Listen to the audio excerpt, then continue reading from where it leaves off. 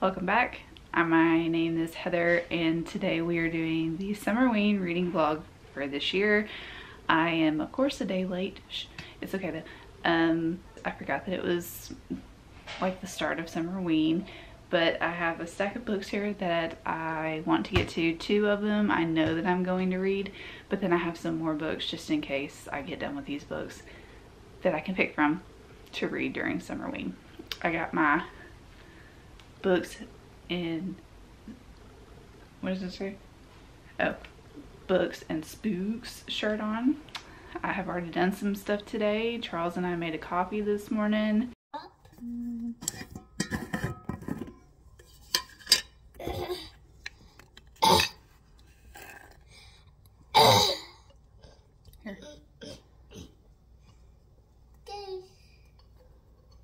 Let me get another scoop. I do it now? To do it. Okay, be careful. Ah! Okay. Is, are you ready for your next one? Yep. Can I do that one too? No, not this one, because this one's liquid. Oh. Childs can't do that Uh-uh. because it will spill on your shirt and your pants and your underwear. Yes. I want to help pour the milk in. Okay, hold on. Huh? So hold on. Okay, okay, okay, okay, okay, okay. okay. Well, we're making coffee, mm-hmm. and oh, we have to do the ingredients. Okay, here. There we go. Uh, there. Milk. That's good.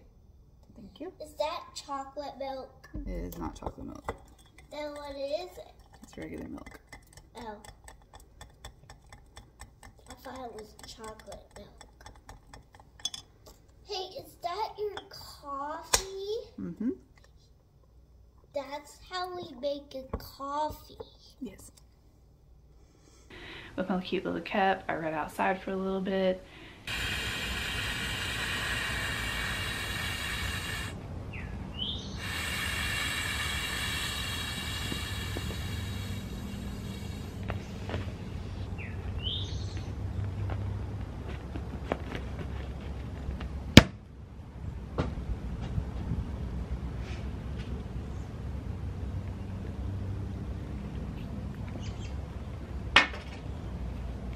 I'm gonna start reading this while we sit out here.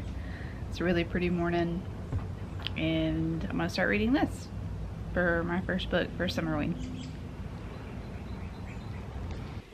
And yeah, it it's and I just woke up from a three hour nap so it's been a day. So we're gonna go through the books that I know that I'm going to read first. So the first one that I started reading this morning is Sour Candy. This is the novella one, the horror novella one that I picked out. And this is about a man who has gotten a son. He just met him and supposedly the dad is supposed to be a hostage. I only got to like page three before I had I had to mom, like I had to do mom stuff, you know? And then I fell asleep, so there's that we're gonna we're gonna do that. That is for one of the prompts. The other book that i'm gonna read is this one right here. This one is set in the summer slash fall. It kind of goes all the way through that.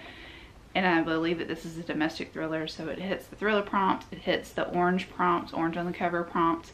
It also hits the set in the fall prompt. And then the rest of the books that i have are just some random books that I picked out. Oh, there's also some orange. Um, there's also some orange right there. Anyways, rest of the books that I picked out that I've been wanting to read for a while. The Final Support Group by Grady Hendrix. This is summer. It's, I I mean, it's set in the summer. It's about final girls in a support group. So, uh, yeah, that sounds fun. Why is that orange, but then that's red? Anyways, this is called The Death in the Family. This is about a secluded island, a de- um, NYPD detective barely surviving a serial killer. She joins the Thousand Island region of New York and she's having to go after a raging person on the island. So, okay, yes. And then this is a book that I've had on my TBR for a while. This is called The Watch Girls, and I don't really know what it's about besides four missing girls. Somebody's watching them. Maybe they get away, maybe they don't. So there's that. I have a theme of black and red books at the moment, which seems fitting. These are the black and red books that I have. So yeah, that's those are the that's my TBR for Summerween. And then also reading in the dark, which is easy to do because I can read when it's dark nighttime outside. Am I missing one? I don't know, but let's get to reading. Good morning. It is the 9th, so two more days of Summerween. I finally wrote stuff on my whiteboard. um, but I wanted to let you know, I finished this yesterday. I'm giving it 3.5 stars. It was a pretty fast-paced um, short story novel or novella, novella, whatever you want to call it. It was about 83 pages, so I believe, well, no, it's about 75 pages. So I believe that this is considered a short story, but we're to call it a novella anyways. 3.5 stars. It was a, it was okay. Like it was, it kept me captivated the entire time. It didn't really get a lot of like information about what was actually going on. It um, kind of skidded over stuff and it didn't really explain everything. So it was all right. I would read from this author again. There's a short or a novella, short story called Blanky that I've heard some things about but um, yeah, I believe that if this was like a full length novel, I would have really, really enjoyed it because it had all of the things that I look for in my horror. It had a creepy kid, which sometimes I don't really like creepy kid stories, but it had a creepy kid in it. It had some supernatural aspects to it, paranormal things. It also had a lot of like, was Paul really going through what he was going through? Was he imagining in it? Was he dreaming it? All these things I liked the whole premise of the book, but it was just kind of left some left some questions for me and needed a little bit more explanation into things that happened. So 3.5 stars. Then I started reading this book. I'm re listening to it on audio. I'm halfway through it.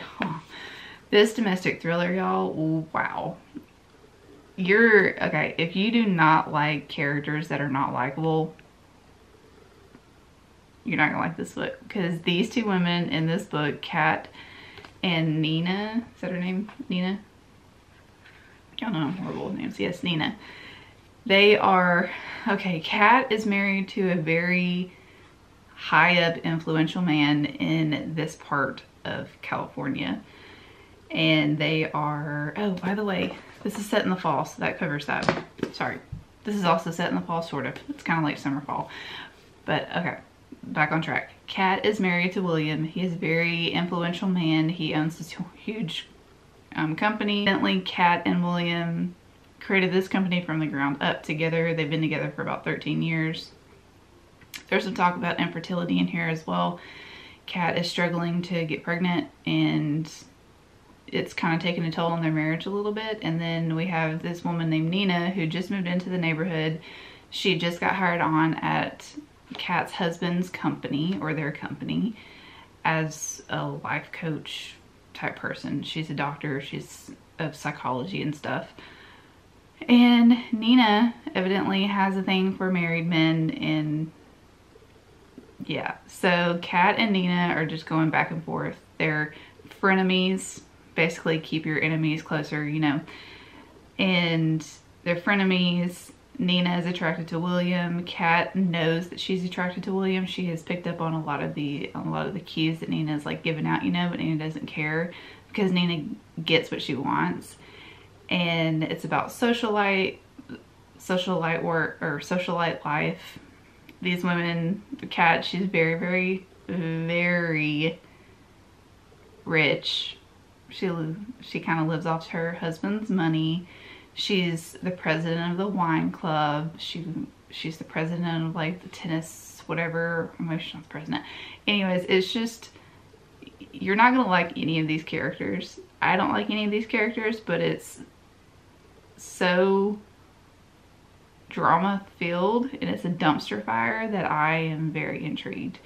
I fell asleep listening to this book last night and it is just one of those books that I'm like because you know that there are really people out there that are like this right? That are better than everybody just because they have more money they're better than you.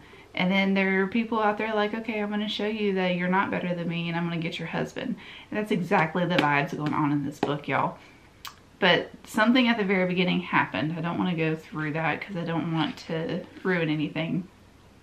But we are at a point in the prologue where Nina is speaking to a detective about something that happened. So you know something has happened at the very beginning and you know that Nina is involved and probably Kat is involved, but you don't know what happened. And it's just building on to the story of what happened. And William, no, no, William, you did, you did wrong. You did wrong. Even though Kat is annoying, you did wrong. You did wrong but that's all I'm gonna say. So I plan, I plan on finishing this today. Also, I got the book. Hold on. I was able to get these two audiobooks as well, Death in the Family and Watch the Girls. I said the the Watch Girls first because I thought that's what it was. But it's Watch the Girls. So I have both of these audiobooks as well and I'm planning on finishing this book today because this fulfills my orange. This fulfills my novella and my um, fall. This is kind of set in the fall too. So we can we can include these both. But if I get through these, then I have completed the challenge. All the challenges are ready because I read this last night, but I didn't get any clips. So if I didn't get any clips, it didn't happen, right? So yeah, I have these two books on audio as well. So when I finish this book and give you my rating, I'll let you know which book I'm to pick up. I'm pretty, pretty positive it's to be this one because I'm very intrigued in this one. But just wanted to fill you in and let you know the update. I'm still wearing my Spooks, Books and Spooks shirt, by the way. Just to, because it's Halloween and everything. All right, I just finished this book and I'm giving it five stars. While this book has all the unlockable characters in it that you will ever need, it has drama, it has like socialite issues, rich people issues, you know, this type, that type of thing.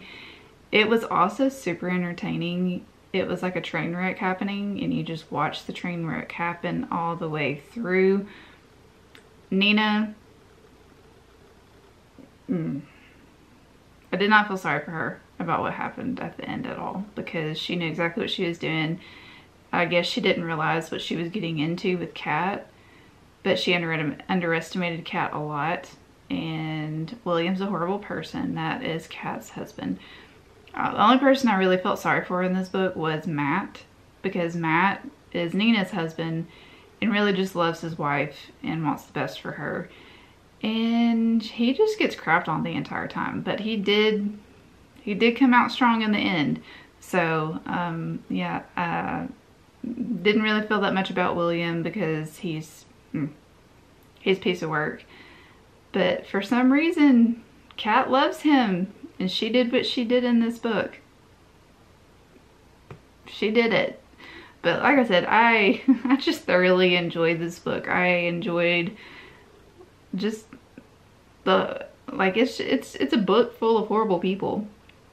Just like how people like to watch reality tv it, it's exactly like that. If you like housewives or if you like that pump vander or whatever i don't even know what it is. I, I don't i don't know what it is um because i haven't watched it. But if you just like reality tv that has like super big drama constantly all the time you never know what's gonna happen this is your book right here. It is like a reality TV show and you're just watching these people and it's just happening. But there are some twists and turns in here. There are some talk about infertility in here, so trigger warning for that. There's talk about cheating in here. You actually see it happen quite a bit. And it made my blood boil a little bit because... Mm, mm. Anyways, I just, I don't know, I enjoyed this book. Five stars. I really like AJ or A.R. Torre's work. I've only read one other book by this author, but I'm going to continue reading this author because everything I pick up has been a five star so far.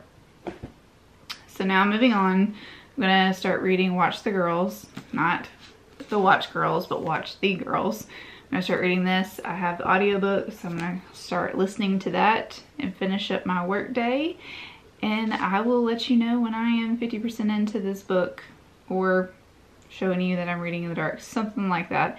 It is the 10th. I thought this was over, thought this video was over, or this readathon was over on the 11th. It's actually over on the 13th, so I still got some days. I still got three days, y'all, to read more of these books. I have this book, got the audiobook for this one, and I also have this book as well. So we shall see. I have high hopes for this. I read some of the reviews, not the ones that go into great detail, but they have promised that this book is dark. It's twisty, it's turny. It's a dark um, psychological suspense thriller that could cross over to horror depending on the reader. So I'm very excited. And this is this author's first adult book too, but it's it's been given high praise. So let's go. Let's get into it. All right, I'm at the 50% mark of this, and not a lot. Oh, that was really close.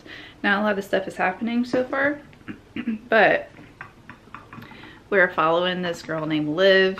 She is a um, says washed up actor in the um, in the uh, synopsis. Sorry, y'all. I just got done eating lunch and I'm putting my bowl in the sink. So she is considered a washed up actor or actress.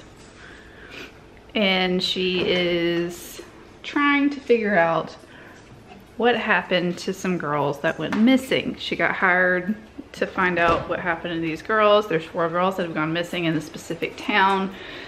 And they, the lighting is horrible.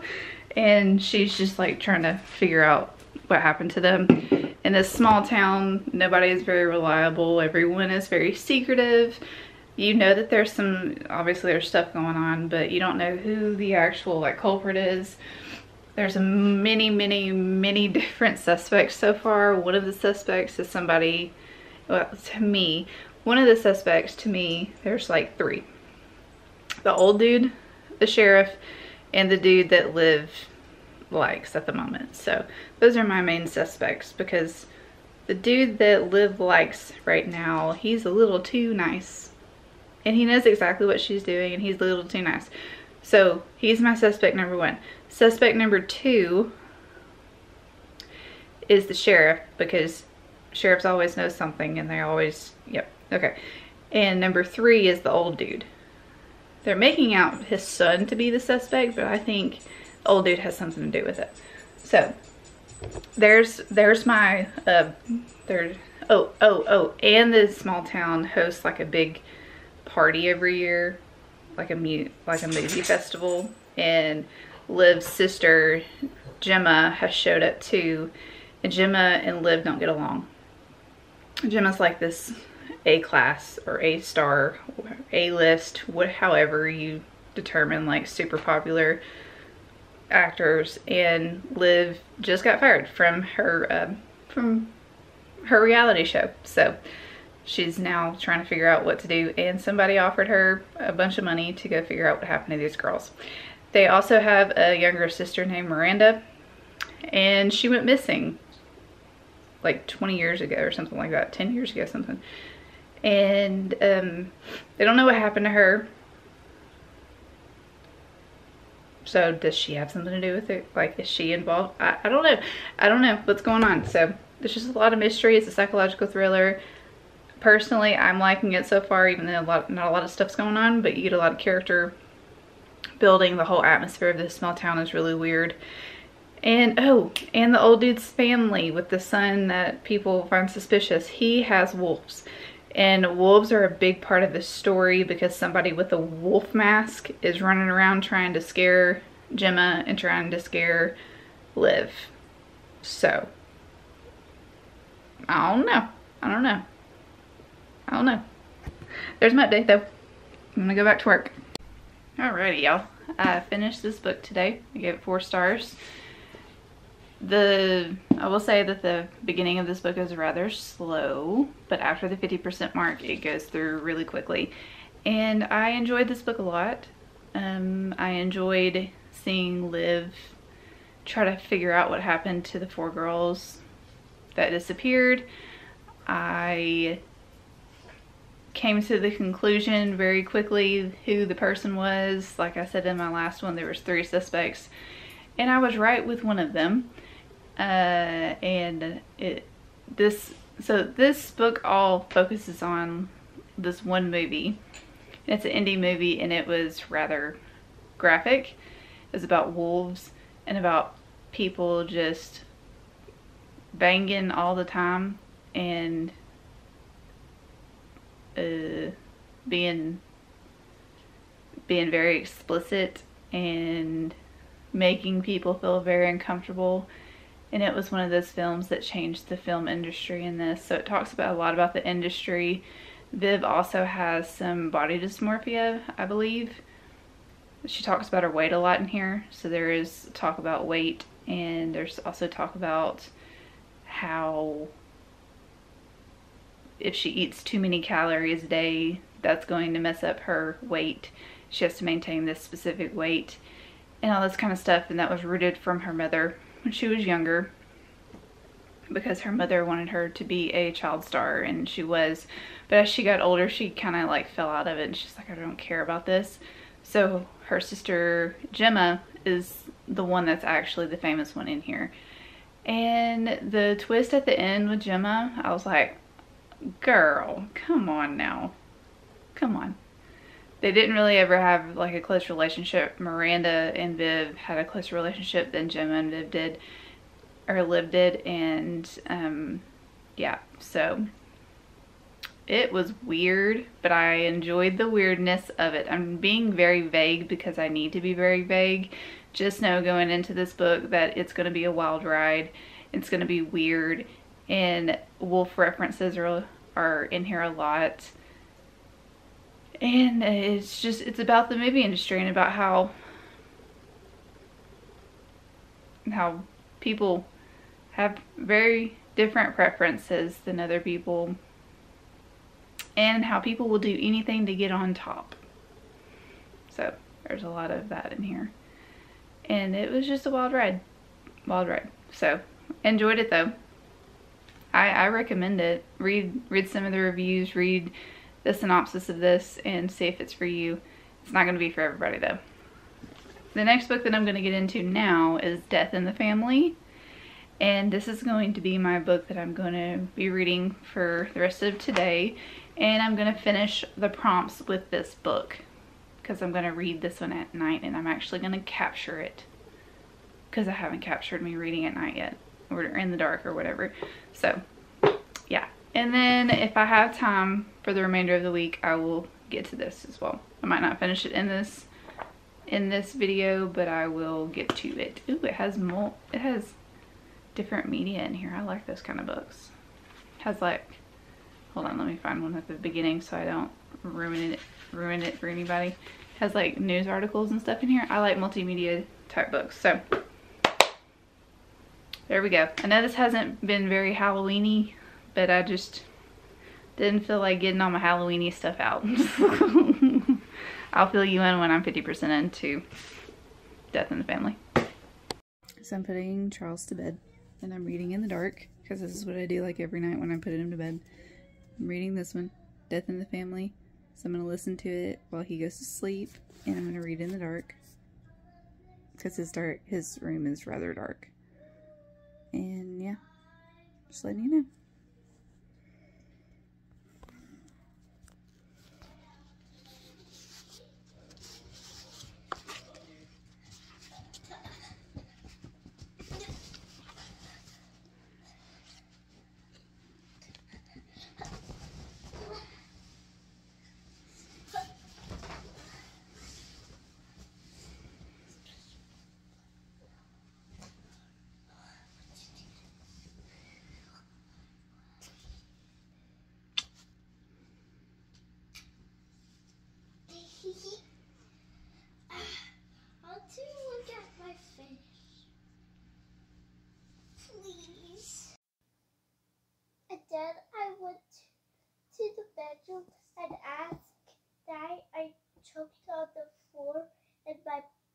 and the living I was, I was telling when it, when it, it was sunny earlier. Were you? Yeah, and trying to be quiet when nobody sees me good. See, sees me sneaking up to the living room. And then I choked.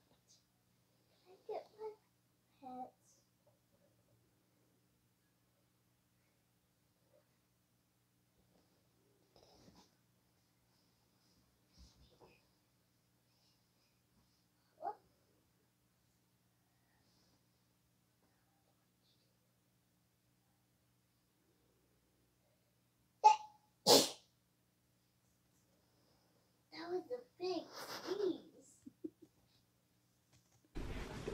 I am halfway through this book. It is the 13th. I read a little bit of this last night, but I eventually just like fell asleep because I was really tired. But it's the 13th. It's the last day of Summerween, and I am almost through with this. I, well, not almost through. I'm halfway through. This is reminding me of the game Clue. Plus, it's also reminding me of that movie Knives Out. You haven't seen that movie, it's really, really good movie. You need to watch it. I'm sure most people have seen it by now but this is about a family who is rich. You find out that they all have their own little secrets. A guy named Jasper ends up missing. There's also a lot of blood on his side of the bed where he sleeps. So they're thinking that he was murdered or, you know, he, he he's hurt and he's missing. Some people in the family think that this is all Jasper's way of trying to get back at everyone. So there's a lot of secrets and backstabbing going on and I am so loving it. And I really like uh, what's her name? Shay Shanna? Shay Shayna? Really like her. She's the detective on here and her partner's name is Tim. They're on this small island with this family and they all are just all the secrets are coming out and I'm just like I'm loving it loving it. But it, again it just reminded me of Clue the game Clue the murder game. And it's also reminded me of Knives Out. Just it has that it has those vibes and it's really fast paced and it's a fun read even though it's about murder maybe anyways halfway through this I will update you probably tomorrow because I'm going to continue reading this tonight if I update you tonight then I will have completed my challenge except one book for Summer Summerween finished this. I gave it 4.5 stars. I really enjoyed this whodunit crime thriller. There's a lot of twists and turns. None of the characters are really likable in this at all. So if you don't like this kind of stories, I don't think you'll really like it. But if you do like this kind of stories and you like putting together a case in puzzle piece form where you think these people did it, but they really didn't do it, but they're all horrible people. And it, yeah, it was just, it was a wild ride and I really enjoyed it. 4.5 stars. It was good. I also like that Shanna was not a perfect protagonist at all. I like Tim. I wish he had a little bit more screen time than he than he got. Tim is Shanna's partner, by the way. Really liked him. And I liked Shanna being able to talk through her problems and Shanna being able to realize that somebody in her life was not a very good person. So enjoyed this enjoyed the family dynamic, even though they were they were very dysfunctional, but it was a fun read. I'm going to continue with this series. So that ends this video. I know that this video wasn't the most exciting thing in the world, but it's my life, you know. But I hope you enjoyed it. Pick up any of these books. I recommend them if you like any of them, if you liked what I said about them, pick them up. But I will see you on the next one. Have a good day. Bye.